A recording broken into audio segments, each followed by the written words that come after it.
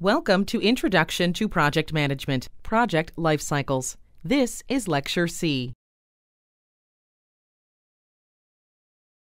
The objectives for project life cycles are to identify process groups and knowledge areas in project management, differentiate linear, iterative, adaptive, and agile project life cycles, relate life cycle phases to reviews, milestones, and deliverables compare various organizational structures as contexts for managing projects. This lecture will continue focusing on the second objective before proceeding to the third objective.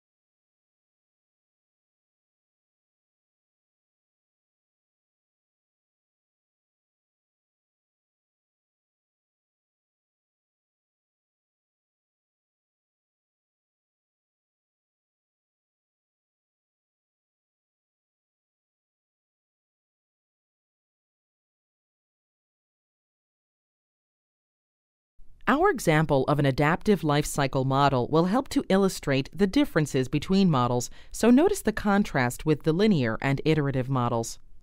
With adaptive models, even the planning should be considered initial planning at the start of the project. The planning should be sufficient for your team to develop and deliver an initial capability.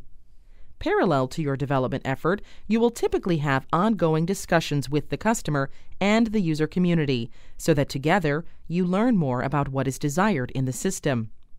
As users work with the first developed release, you will learn even more information.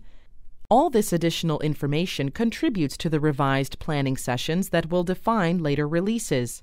Again, the key characteristic is that you can only develop an initial plan for an initial delivery. The later planning will be keyed to what you learn from the user and customer communities and other stakeholders.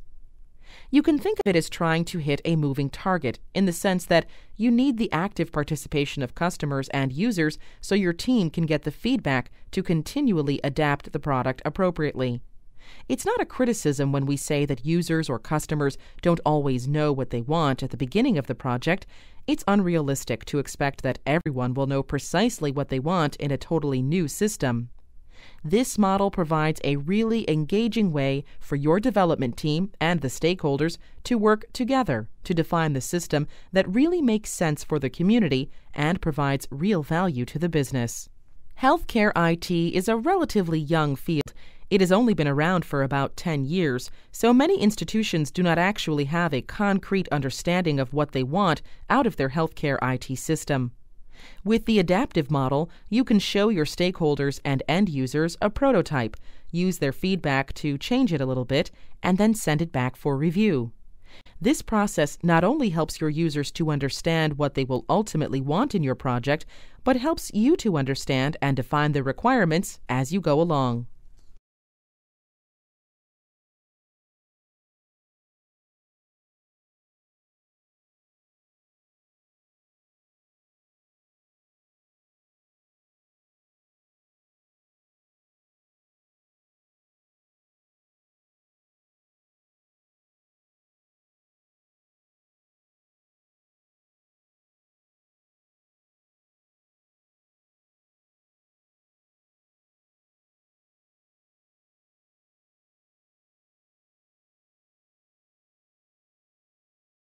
Our fourth and final family of life cycle models is called Agile. Agile life cycle models, although we are showing agile life cycle models using the same set of project characteristics as the others, we are doing so to compare and contrast them with these other models. With Agile, there's a fundamental shift from the previous three life cycle models. Agile represents really an entirely different philosophy, a fundamental break from the other models. While the table on this slide states that the requirements are only minimally developed, what's different here is that there is no attempt to define them at the start. This model reflects the reality of health IT systems development, which is a very dynamic process between systems, IT, and practitioners. Prototyping is very helpful in Agile Lifecycle modules because your final requirements are not known at the beginning. You may start out with vague requirements like I want you to go from System A, get some information from System B, and bring it back. And once you've built that system and show it to your stakeholders, they can say, OK, now we want to change it using information from System C. And bring that in to get a more complete view of what we want to do. Once you've done that, they may say, OK, that's great, but now we want the system to do X before the final step. And so a prototype is very useful for helping the stakeholders envision the final end product even while it's being built. Note that Agile projects represent a strong departure from the other three families of lifecycle models.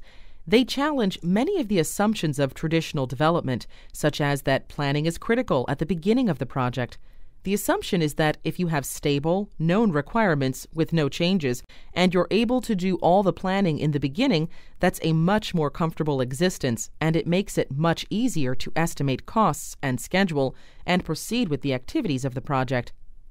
Agile challenges all of that.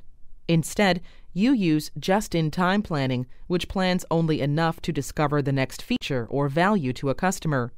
Instead of thinking that change is undesirable, Agile views it as desirable. It's not a problem. Rather, changes tell you what the customer wants. So the goal of Agile is really delivering business value to the customers and users.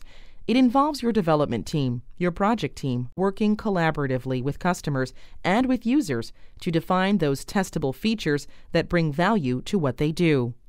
It's very important to recognize the major differences between Agile projects and the other projects that we've talked about.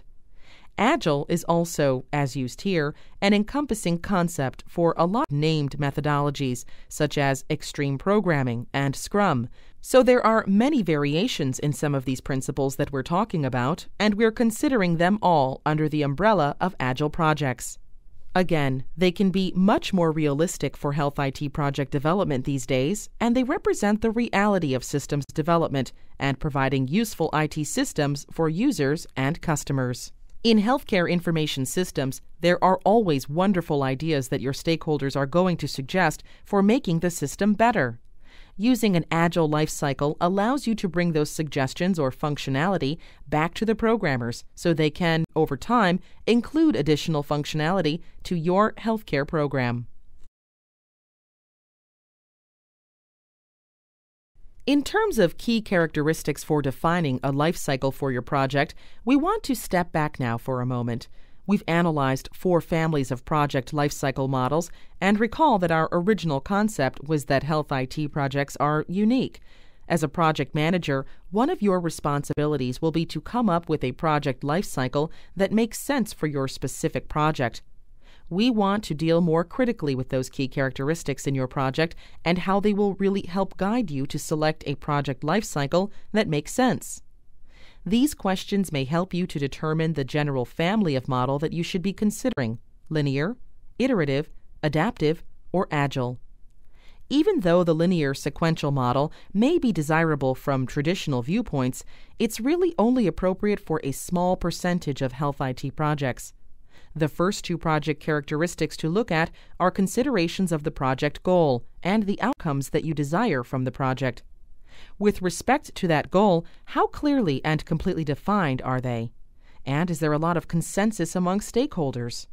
Regarding the project outcomes, what degree of novelty exists? How complex or novel or unprecedented is this desired system with respect to the state of technology, availability of resources, and other factors? In healthcare IT, you will hear the expression on the bleeding edge. That means that the project is very complex and it's using state of the art hardware, software, or processes. Most people do not want to be on the bleeding edge. They want to be one step back from that. So, whenever you're looking at your IT projects, be sure to understand whether you're developing a bleeding edge technology or if you're in a safer zone. An important set of characteristics revolve around the stakeholders in the project. In fact, one of the earliest empirical studies of factors affecting software project success identified stakeholder complexity as one of the key determinants affecting the productivity of development teams. As a result, it's time well spent for you to understand your stakeholders, not only how many you have, but what are their different roles and expectations. How will each one influence your project? These are really key characteristics. One that's often overlooked is your reliance as a project manager on the engagement and participation of your stakeholder in determining the success of your project. For example, you might want to obtain their feedback on early releases or otherwise engage them in the project and throughout the project. It is important to know if that kind of engagement is a realistic expectation. These characteristics can be critical in terms of the success of the system and project. Stakeholder identification is key. In a healthcare IT project, you need to identify everyone who might have a part of that system. You will need to gather together people from all strata of the workforce, from the greeters at the front desk of the hospital all the way up to the administrators at the highest levels. Their amount of engagement will also be key. The people on the front lines, the nurses and doctors that are going to be using your system, generally do not have a lot of time to view the product because of their responsibilities to their patients. You need to make sure that you allow plenty of time for multiple people on each stratum to review the system, because they may bring back wonderful suggestions and changes that you might want to incorporate in your system.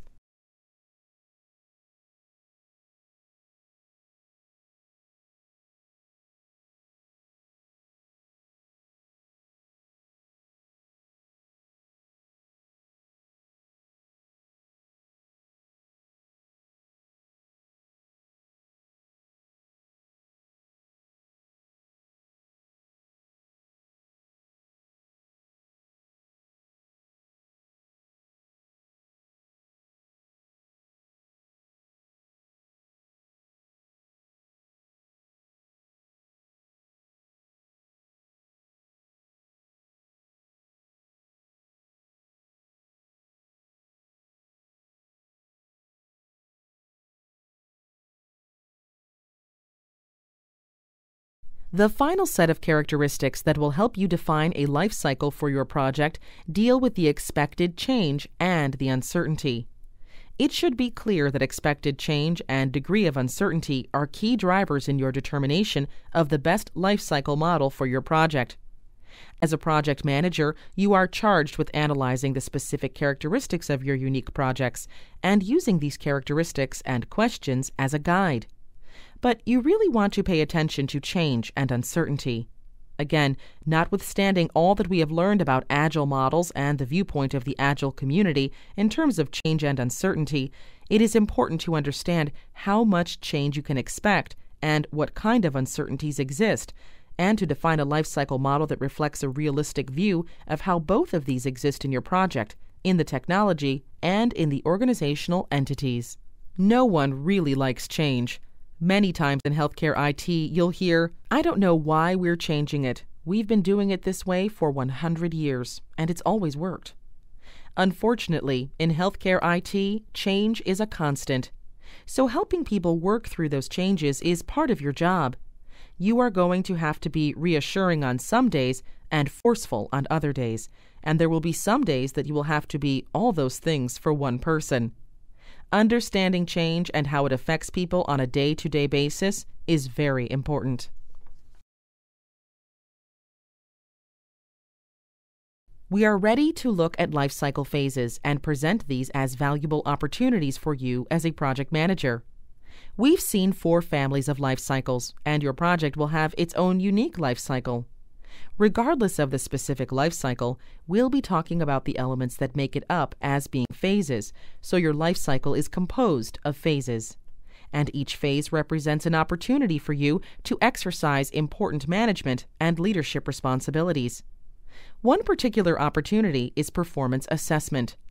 As the project manager, you need to take charge and assess the performance during each phase. Ask yourself what happened? What was planned? What were the objectives of the phase, and were they achieved? What about deliverable results? Deliverable results really define a phase, and each one is pointed for a particular outcome or result. What are those tangible deliverable results? Whether they're designs, documents, processes, or prototypes, it's an opportunity to determine if the phase has achieved its objectives. It's also an opportunity for you to lift your head up from the day to day operation of the project to ask, how does the project now stand with regard to our project management plan? Is that plan still appropriate for succeeding phases? It's a chance for you to regroup and ask, does it still make sense for us to proceed in the same way to succeeding phases as we had planned, or do we really need to think about revisiting the plan? The end of a phase is a good opportunity to take a breath, review what has been accomplished, look at what needs to be done, and reassess where you are, not only in your project plan, but also against other objectives that the institution may be pursuing. At this point, you can take a deep breath and reassure your management that you are headed in the right direction, and then begin work on the next phase. We began this unit talking about project management elements, such as processes and knowledge areas, and then we transitioned to processes as raw materials, useful to you when you're building your life cycle model and throughout the life cycle. Now we want to turn back on that with respect to phases, and we point out that each life cycle phase will use processes from all five process groups. Not only does a project provide an opportunity for you to use all five process groups, but so does each individual life cycle phase. If you consider each phase as a self contained entity, you can, for example, use processes from the initiating process group to help you start a phase, confirm the scope definition, and confirm the adequacy of resources. Within a phase, you can call on processes from the planning process group to help you plan. Certainly, part of every phase involves execution, and there are processes in the, in the executing process group that you can call upon to coordinate the work of the team. There's a process group for monitoring and controlling, and you'll certainly want to call on that process group to assess the progress during a phase, compare it to the plans, and take corrective actions as part of your controlling activity.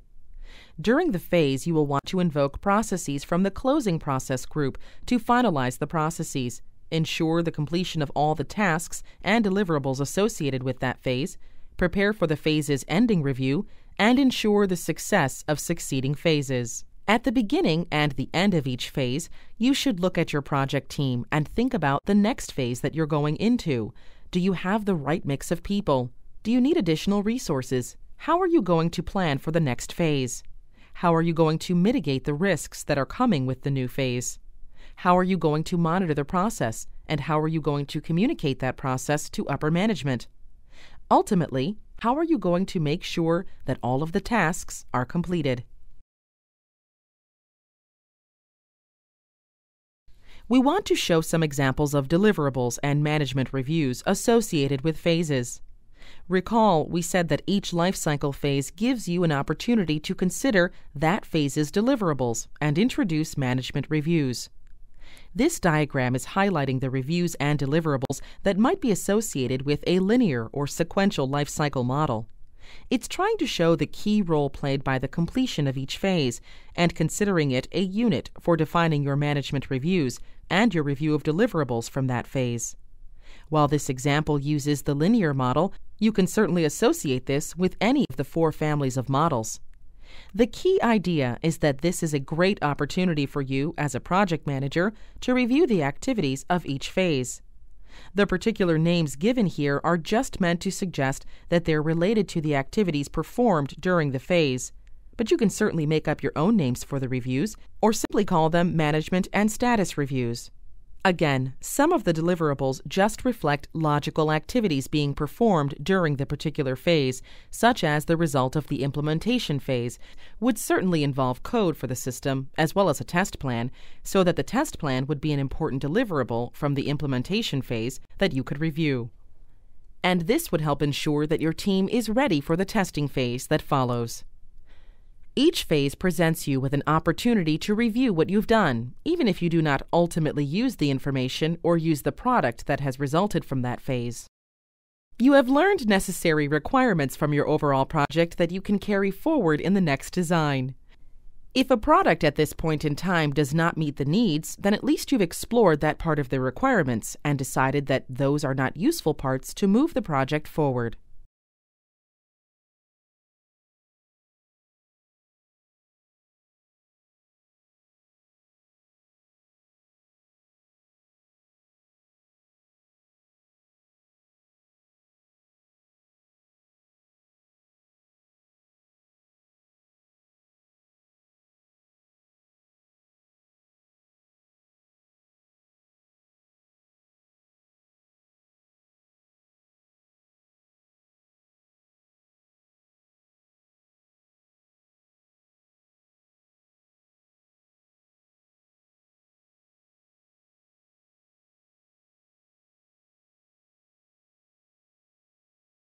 Completing a phase really serves as a milestone. A key question for you as a project manager is Are we making progress? And certainly you'll have this question asked of you by senior management and customers. What constitutes progress in your project? And often, completion of a phase indicates possible progress, but it does not necessarily constitute real progress. So, has the phase achieved its objectives? If it has, you can view it as a milestone of real progress. Compare the outcomes of the phase to the plan to determine if changes to the plan are warranted. But certainly, by achieving its objectives, a phase can signal its readiness to proceed to the next phase in whatever life cycle you're using for the project. If the phase has not achieved its objectives, then this represents an opportunity for you to assess the gap between the actual results and the planned results. How serious is the gap, and how extensive is it? Are there indications that there are other issues, broader project issues or concerns that you really need to consider. Perhaps this individual phase is an indication of something more fundamental going on that you really need to attend to. The adjustments may involve planning other activities that are necessary to close this gap, so you will be able to achieve those phase objectives.